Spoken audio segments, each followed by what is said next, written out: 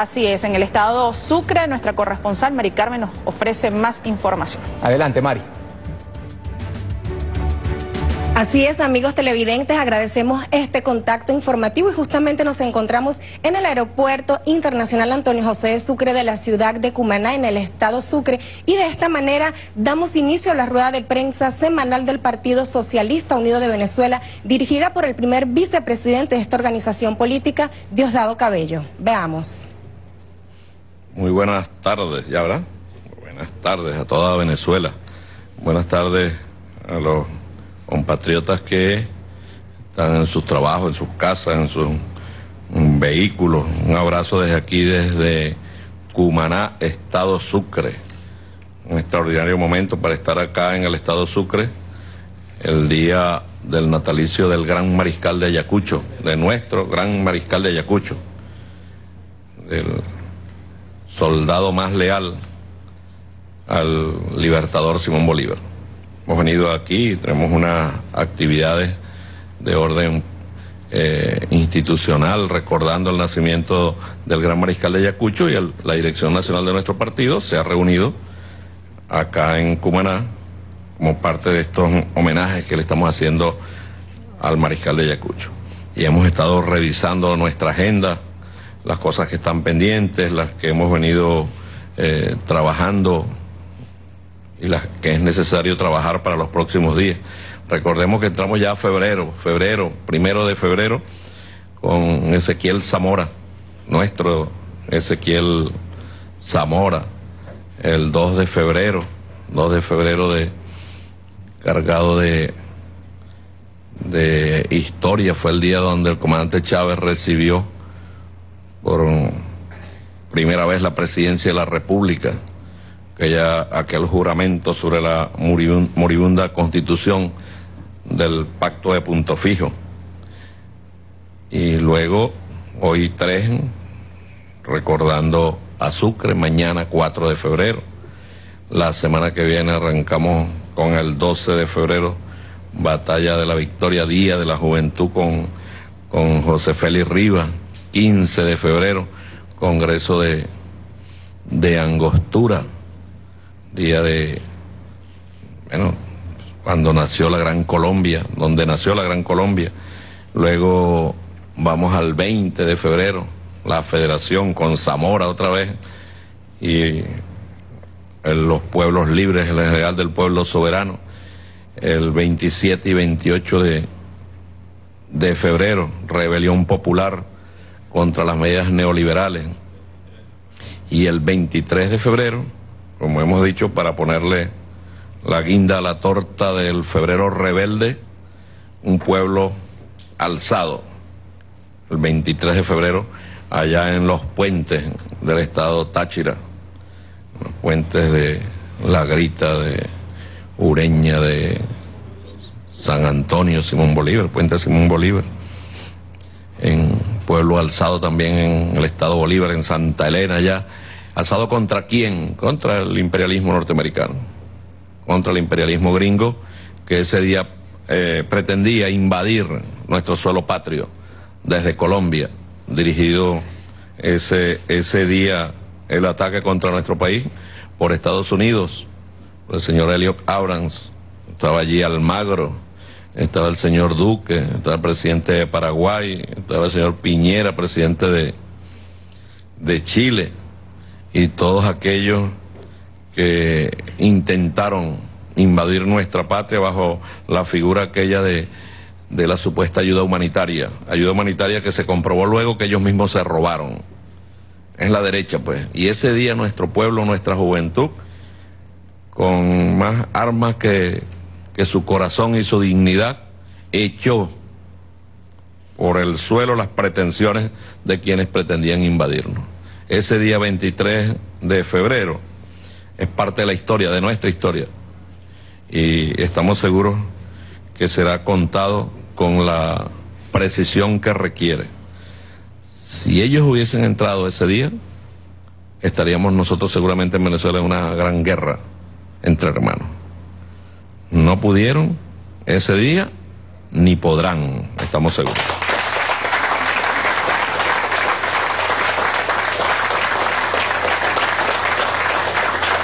Dos, 225 años del natalicio de Sucre.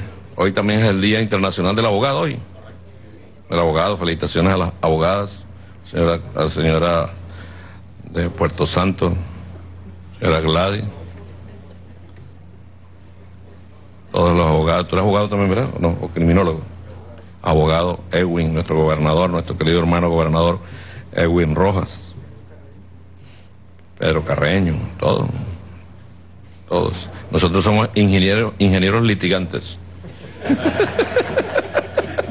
y capitanes litigantes. Y capitanes litigantes.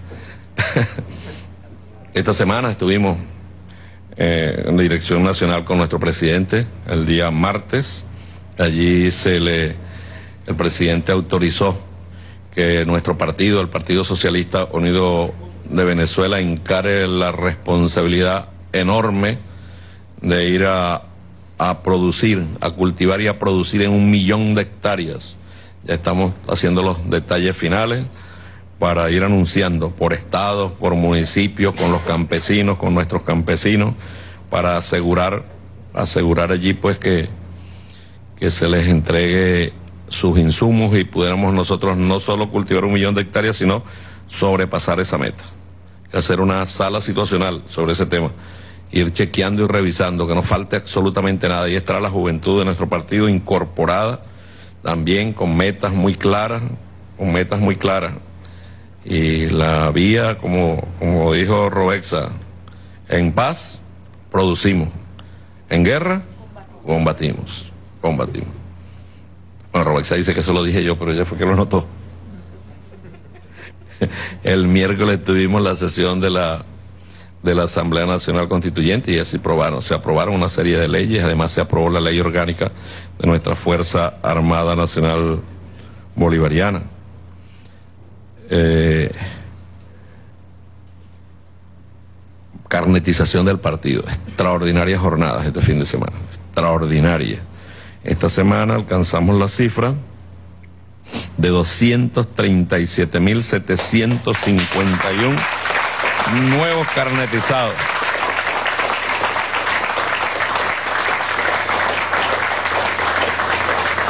Se dice rápido, pero es impresionante. Ya llevamos 590.844 nuevos carnetizados en tres semanas de trabajo. Tres semanas. Nos hemos propuesto como meta que para el 30, la última semana del mes de, de abril, nosotros debemos estar haber, haber sobrepasado la meta de 9 millones de militantes inscritos, de juventud revolucionaria, de mujeres revolucionarias, de campesinos, de trabajadores, de trabajadoras. Todo aquel que tenga más de, de 15 años quiera ser parte del partido del comandante Hugo Chávez, bienvenidos. Aquí están nuestras, nuestras manos y nuestros brazos extendidos para recibirlo, para conformar esta gran Alianza por la Paz, un ejército de paz del Partido Socialista Unido de Venezuela. Ya pasamos los 7 millones de inscritos. 7 millones de inscritos en el partido. Recuerden, es importante recordar que ahora tenemos inscripción viernes, sábado y domingo. Teníamos solo sábado y domingo, pero ahora tenemos viernes, sábado y domingo. Todos los viernes, todos los sábados y todos los domingos hasta la última semana, hasta el último fin de semana del mes de, de abril. Y hemos agregado, ido agregando puntos, nuevos puntos de inscripción, de manera que sea un poco más fácil el cumplimiento de la meta. El, informo además que las RAS siguen desplegadas, las RAS siguen desplegadas, llevamos 48.212 comunidades, en las 14.381 VC. Tenemos 282.097 calles registradas y hemos visitado cara a cara, casa por casa, caso por caso, 10 millones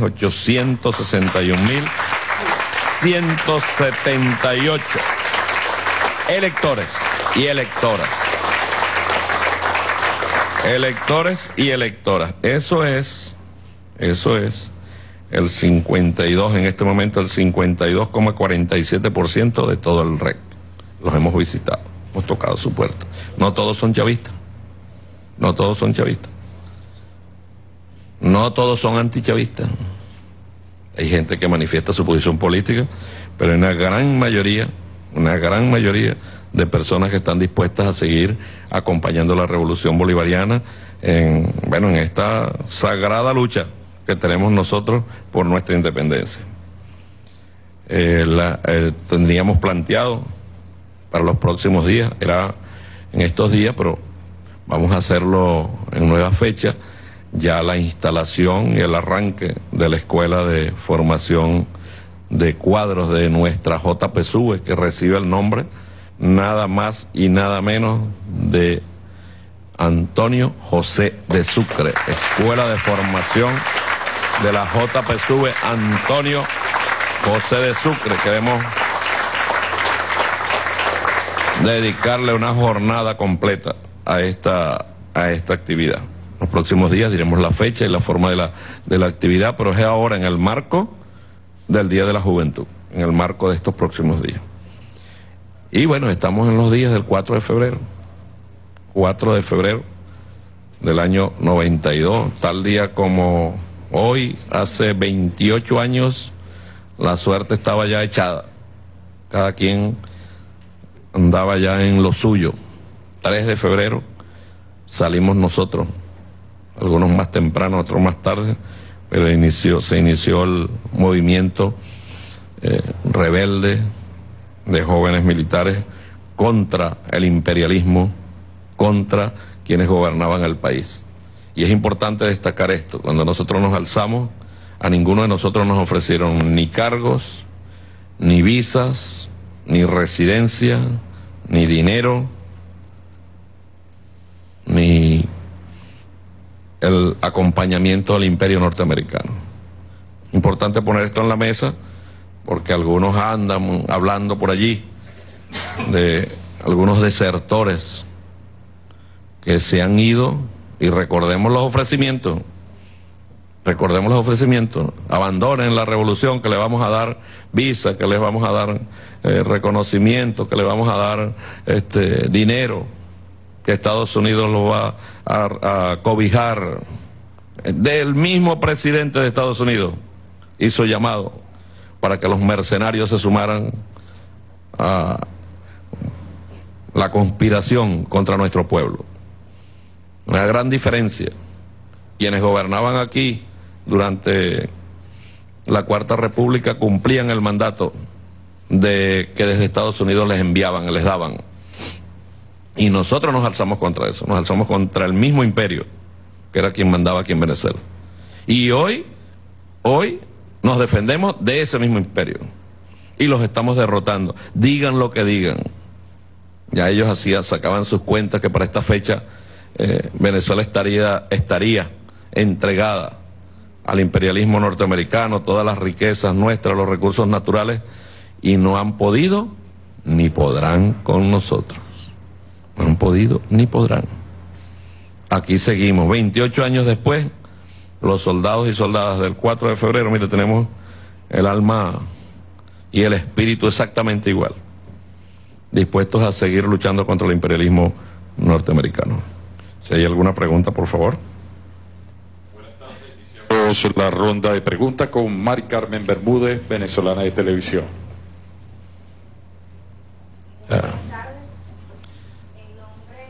Pueblo de Sucre, como sucrense y como sucrista, es un honor tener a la dirección nacional del Partido Socialista Unido de Venezuela, la organización política más grande de Latinoamérica y el Caribe. Hoy, en esta fecha emblemática para Venezuela y por supuesto para Sucre. Quiero comentarle eh, al primer vicepresidente de esta organización política que durante estas jornadas de carnetización he tenido la oportunidad de darle cobertura en los distintos municipios de esta entidad y son más de 20 mil nuevos carnetizados quienes han atendido el llamado hecho por el presidente Nicolás Maduro. Y es importante destacar que el 60% de esta población del estado Sucre es juventud. El 60% son jóvenes. Quisiera saber cuál es la lectura que usted le da a todo este despliegue hecho por chamos entre 15 y 18 años y cómo lo reciben ustedes como Dirección Nacional y esa motivación, además, para el resto de los jóvenes que aún no se han acercado a estas jornadas que continuarán hasta el mes de abril. Gracias. Gracias, Mari Carmen. Bermúdez, Bermúdez. Bermúdez, Bermúdez es de, de Orocual. ¿Cómo se llama? San, San José Orocual. Bermúdez. Bermúdez. Sucre lleva 24.319 nuevos inscritos. 24.000. Ya lleva el 24%, el 25% de su meta cumplida. 60% jóvenes. Nosotros le, le, dimos a la juventud del partido una meta que van cumpliendo la manera casi uniforme en todos los, en todos los estados. ¿Cuánto fue? ¿Tres millones? Millón y medio. Era un millón y después subimos a, y después subimos a millón y medio. Nuestra juventud es energía. Nuestra juventud es, es, fuerza. Pero además nuestra juventud es la garantía fundamental que dentro de 30 años este país lo va a gobernar un revolucionario o una revolucionaria. La mayor garantía. Y la lectura la asumimos con mucha humildad, pero con mucha alegría, por supuesto. Porque cuando un joven de 15 años, de 16 años, se inscribe en el partido de Hugo Chávez, primero a la gente dirá, pero 15 años. Bueno, 15 años muchos de nosotros ya estamos militando en algunas actividades y antes era muy complicado. Aquí en Oriente fue terrible la cantidad de jóvenes asesinados, mutilados, torturados, perseguidos, desaparecidos aún. Era Sucre, Monagas, Anzuategui como una, una especie de laboratorio de los cuerpos represivos, formas de tortura. Joven que entraba en una en un teatro de operaciones a ser torturado, no salía. Aquí había uno cerquita en Cocollar y si bajaba por Caripito había otro en. Ah, ¿Cómo se llama ese pueblo? En Cachipo. Estaba otro teatro de operaciones ahí. Y así estaba repartido el país en teatros de operaciones que eran centros de tortura, donde operaban soldados de Estados Unidos. Eran los que enseñaban a torturar. A torturar. Con unos señores de la dictadura de Batista, que habían salido huyendo de Cuba mercenarios cubanos y terminaron en los cuerpos de seguridad de Venezuela. De cuando un niño de 15 años nos llena a nosotros de alegría porque ve su futuro ahí, el futuro de la patria, ¿ve? Es el futuro de la patria, no se están quedando en la manipulación de los grandes medios a la derecha. Prefieren la esperanza, prefieren el futuro que el miedo. El miedo y están dispuestos a enfrentar lo que sea. Yo hablaba hoy del 23 de febrero, eso fue extraordinario, había que estar ahí para sentir lo que se sintió ese día. Cómo se unió la juventud, la juventud más joven, con las personas de edad avanzada, muy avanzada, que decidieron luchar para evitar que nos invadieran. Personas muy viejitas, viejitas, viejitas. Ahí, recogiendo piedras, llevándole comida, secando el sudor de cuando un niño decide inscribirse. Además es la manifestación de lo que uno siente en la calle. Es la figura de Chávez. Hay un niño que le preguntaron, yo vi el mensaje, el hijo de, de una compañera de Indira, Indira se llama, le preguntaron por qué se inscribía que él quería continuar con el legado del comandante Hugo Chávez, que no se perdiera. 15 años. Y tú lo viste. Tú lo viste cuando están las sillas ahí, están los chamos, están los jóvenes esperando. ¿Qué edad tienes tú? 14, 15, 16, 17. Estoy esperando ahorita, voy a entrar a la universidad o estoy en quinto año. Y es un proceso de organización hacia abajo.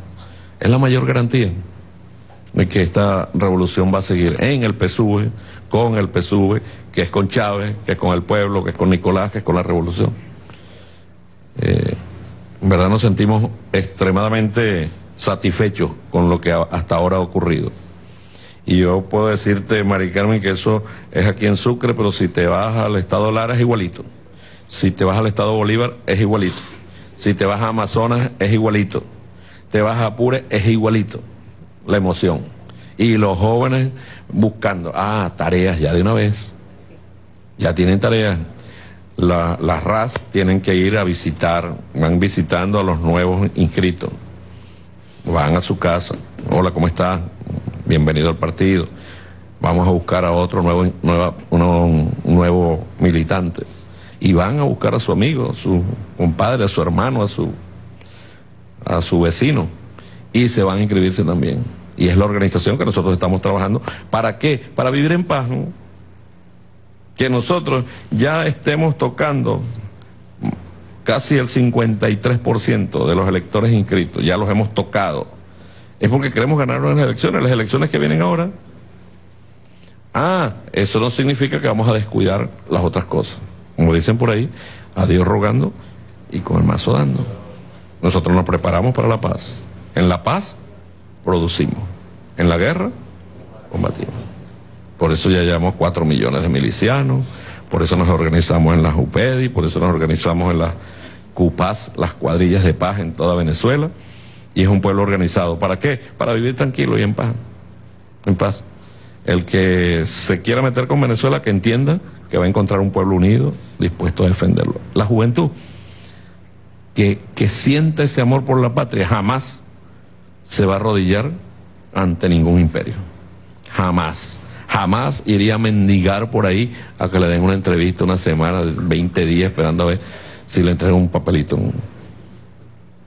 No, no, no.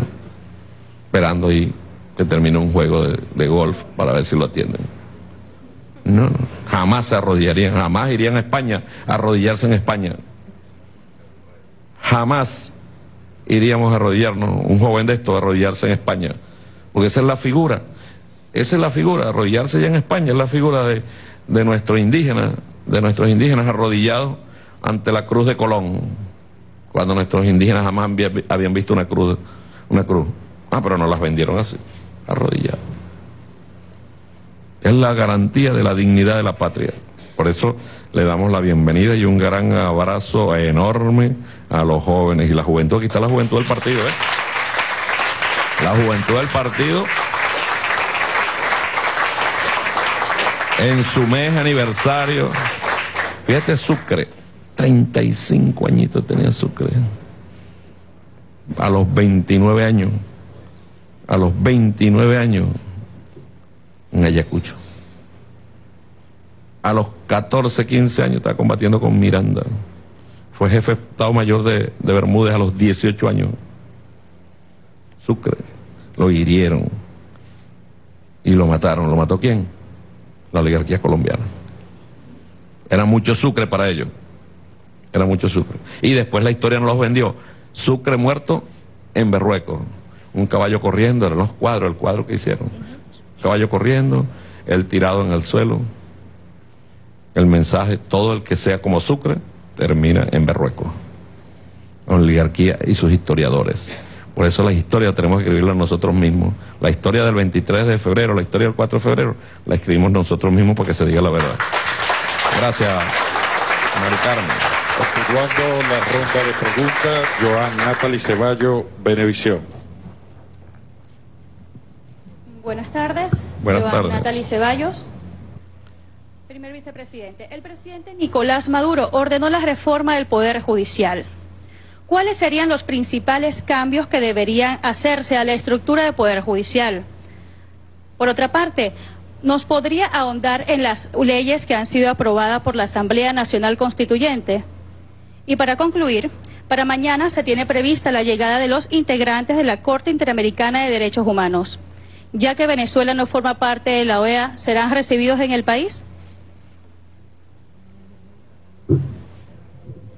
Gracias, Joan.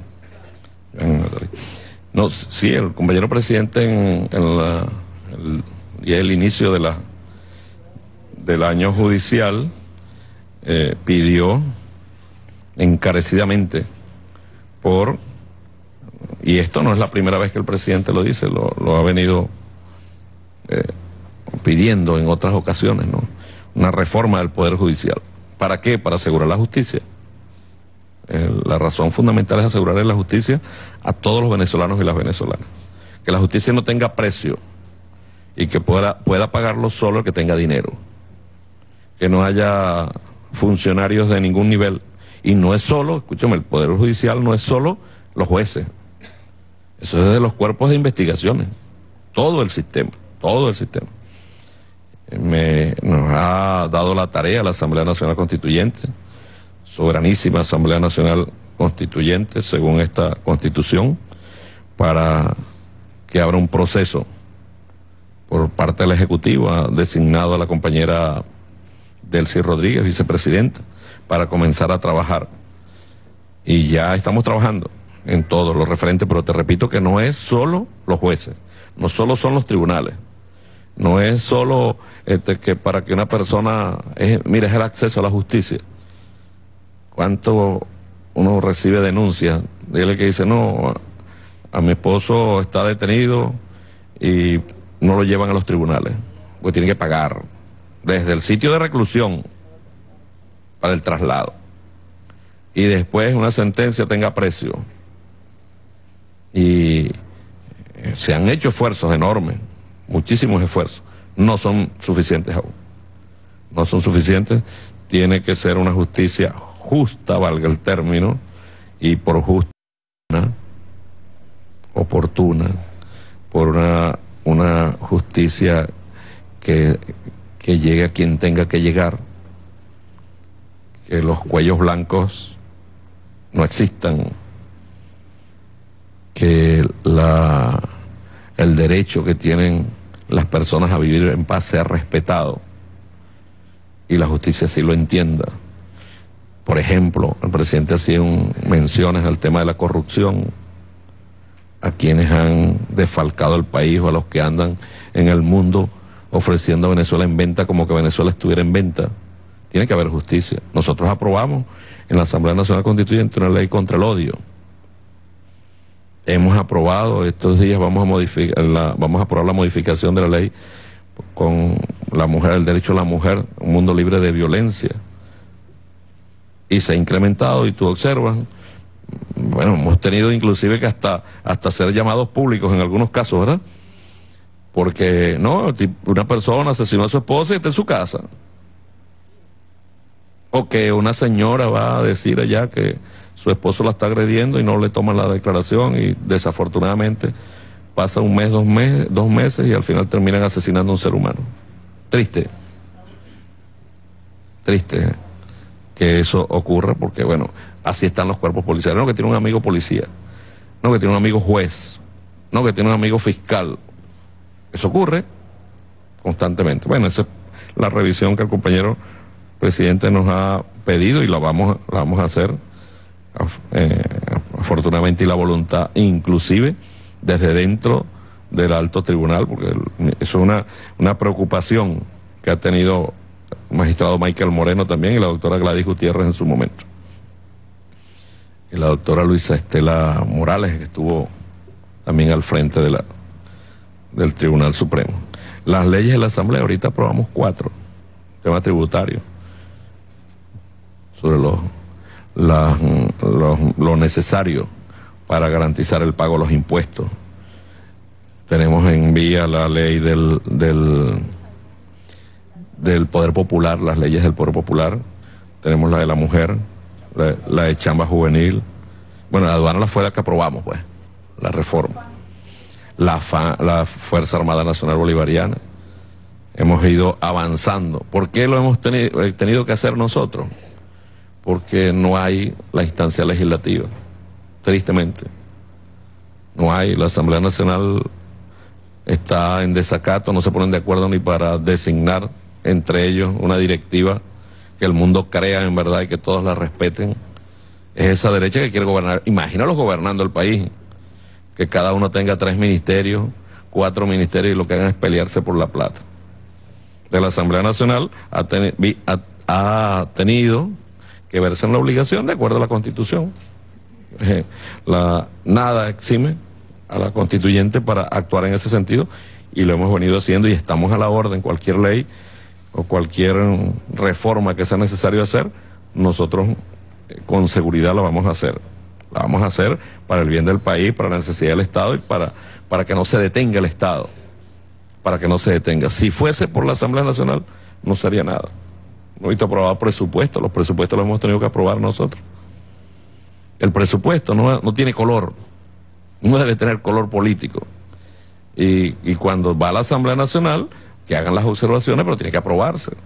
Entonces, para ellos, la mejor manera de castigar al gobierno, o la mejor manera de castigar al pueblo, pensando que con eso castigan al gobierno, es no aprobar el presupuesto. De la Asamblea Nacional Constituyente actúa en consecuencia y así ha venido ocurriendo. No nos vamos a, a detener por eso. Corte Interamericana de Derechos Humanos, eso será en otro lado, aquí no. Para nosotros eso no existe. La OEA para nosotros no existe no es ni siquiera llega a ser un organismo confiable para nada. que ellos andan alborotando, alborotando y buscan lo mediático porque no les queda otra cosa, ver cómo hacen. Eh, eh, deberían ir a Chile primero, deberían ir a Colombia. Colombia han asesinado, en el mes de enero asesinaron más de uno por día, más de un dirigente social por día en el mes de enero. Y febrero no tiene expectativas que sea distinto. Seguramente va a ser peor en el mes de, de febrero. Que vayan a Estados Unidos, la Corte Interamericana, a ver qué consiguen en las cárceles de Estados Unidos a los niños y las niñas que tienen retenidos en la frontera, para que vean. Ah, el objetivo es Venezuela. Ellos pierden los países, los presidentes, pierden toda autoridad no moral, autoridad, con nosotros, cuando se quedan callados con lo que ocurre en Bolivia. Guardan silencio con un golpe de Estado en Bolivia contra un presidente en ejercicio, pero además que era un presidente reelecto. Y le dan un golpe de Estado y se quedan callados. Porque tienen que ganar, la derecha tiene que ganar elecciones a juro. Bueno, bajo esa premisa, aquí no van a ganar elecciones nunca.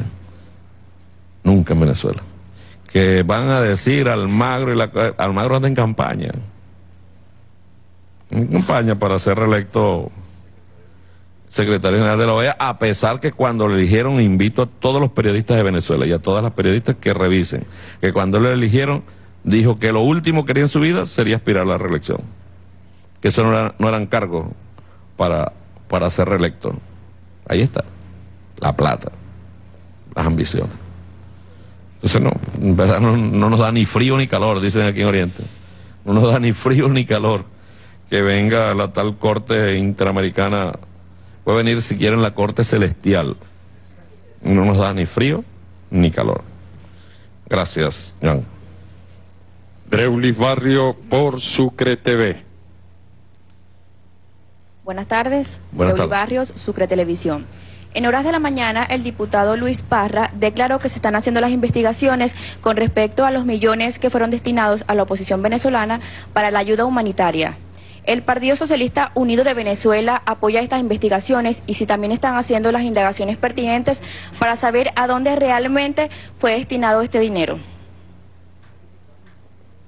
Luis Parra, quien fue electo presidente de la de la Asamblea Nacional, pero Luis Parra, creo que él fue a la, al TCJ para ver si levantaban el, la, el desacato. No ha ido, ¿eh? siguen en desacato. Siguen en desacato, pues tienen que regularizar su situación. Pero entiendo que allí se han tomado algunas decisiones para aclarar el destino de más de 700 millones de dólares, al menos, que han sido entregados a la oposición venezolana. Recuerda que todas estas peleas, ¿cómo es que dicen? Estos lodos vienen de, esto, de aquellos polvos. ¿De dónde? ¿Cuáles son esos polvos? Las peleas por la plata. El señor Calderón Berti siendo despedido y el señor Calderón Berti diciendo que ese dinero lo gastaron en prostíbulos, lo gastaron en, en restaurantes, en, en hoteles, en alquileres, etcétera, etcétera. En drogas, en drogas. Y después vino el contraataque, no, que este, unos diputados fueron a exonerar a no sé quién, según ellos, y les pagaron el pasaje. Y estos diputados ripostaron, no, nosotros estamos investigando a ustedes. Todos tienen razón. Todos los diputados de la oposición tienen razón. Cuando uno acusa al otro, tiene razón. Y cuando el otro responde, también tiene razón. Es una sociedad de, de, pillos, el de la derecha. El de la derecha es una sociedad auténtica de pillos. De personas que creen que se van a apoderar de las riquezas del país. Alguien en Venezuela, alguien en Venezuela puede decir que ha recibido una ayuda. Yo pasé unos videos hace poco en el estado Carabobo, era así, que entregaban ayudas médicas, la entregaban en un acto y apenas terminaba el acto, se las llevaban y se iban con esas mismas. Bueno, uno dice que era ayuda médica, eran unas cajas. Para ver qué es lo que tenían adentro, ¿no? Unas cajas aquí se las llevaban para otro lado. Hicieron como cinco actos ese día, o seis actos. Y se ve cuando llevaban las cajas de un depósito a otro depósito y las, las retiraban del sitio de los actos. Así actuó la derecha que ellos estén investigando es un avance, por lo menos es un avance, pues que salga la verdad qué hicieron con esa plata, quién se la robó, cómo se la robaron. Si a mí me preguntan, así a simple vista, el primero que tiene que aclarar es el señor Juanito Limaña, porque él es el que está recibiendo esa plata. Yo vi en estos días a, a uno de estos señores de Estados Unidos entregarle nada más y nada menos, nada menos que a Julio Borges y a Vecchio 52 millones de dólares. Me entregó un cheque. Lo que significa 52 millones de dólares a unos sinvergüenzas como estos. Llegará algo aquí en Venezuela. El supuesto procurador que nombró Juanito Limaña renunció porque no está de acuerdo cómo se están pagando 20 millones de dólares en, en asistencia profesional, jurídica. ¿Cuántos periodistas, esa pelea que tienen los periodistas de Mayameros que están allá, es porque no les dan la plata, porque solo se está robando eh, Rabel y el grupito de Rabel? Yo oí ayer, yo me dio una tristeza con Carla Angola ayer, ¿vale? Era una tristeza, ayer, anteayer. La dejaron tan lejos, no la pusieron ahí al lado de... La pusieron como a 20 metros por allá, detrás de la rejita. Las lágrimas se le salían de la tristeza. Tanto adular, tanto, bueno, eso se compensa con plata, la plata que le dan. Entonces, que se abra un proceso de investigación, nosotros lo apoyamos. Siempre vamos a apoyarlo. Siempre, siempre. Y que se esclarezca que el que no la debe, no la teme. No la teme. ¿Dónde está, por ejemplo? Recuerda, concierto de, de, de Cúcuta. Ellos dijeron que iban a recaudar si mal no recuerdo, 100 millones de dólares. Salió un artista por allá y dijo, yo pongo un millón de dólares. No, no, no, no. No, Ajá. no Richard Branson es el que montó el, el organizador. Un millón de dólares. Después dijeron que solo habían recaudado dos millones de dólares en el concierto. Muy malos esos organizadores, que de 100 pasaron a dos millones de dólares. Y entonces uno pregunta, ¿dónde están esos dos millones de dólares? ¿Quién los tiene? ¿Cómo los rindieron? ¿Con qué lo compra qué compraron? ¿Qué compraron? ¿Qué adquirieron? ¿Solo el Hotel Penélope? No creo. No creo. Tienen, tienen mira, tienen ahí instalado eh, sedes de, ¿cómo se llama esto? De taxi, líneas de taxi en, en España se reúnen con, notados corruptos de la Cuarta República, los llamados, los llamados por ellos mismos bolichicos. Ese señor Betancur, donde el papá de, de Guaidó ha ido a visitarlo, allá en España. Ese señor le dio residencia a Miguel Enrique Otero como nueve meses en ese castillo, hasta que se cansó de Miguel Enrique y lo corrió, por chulo. Y el papá de Guaidó estaba allá. Y declara entonces Giuliani, este que fue eh, alcalde de Nueva York, que es un abogado de un bufete, un lobista.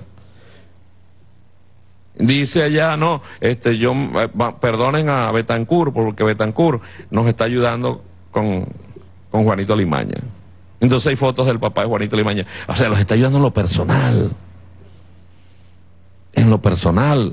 Jamás y nunca ellos han puesto como, como meta este, Venezuela. No, no, no. Es un clan. Un clan. Ojalá se investigue. Ojalá se investigue.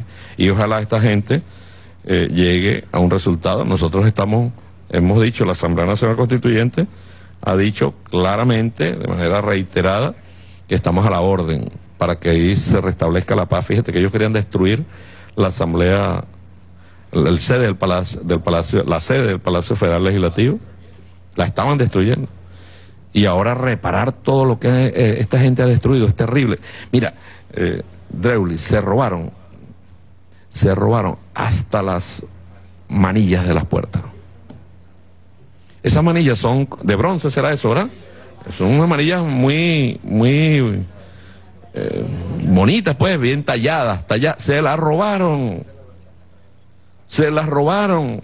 Nosotros estuvimos ahí cuatro años, estuve al frente, Silvia estuvo eh, como cinco años, Silvia, cuatro años, ¿verdad?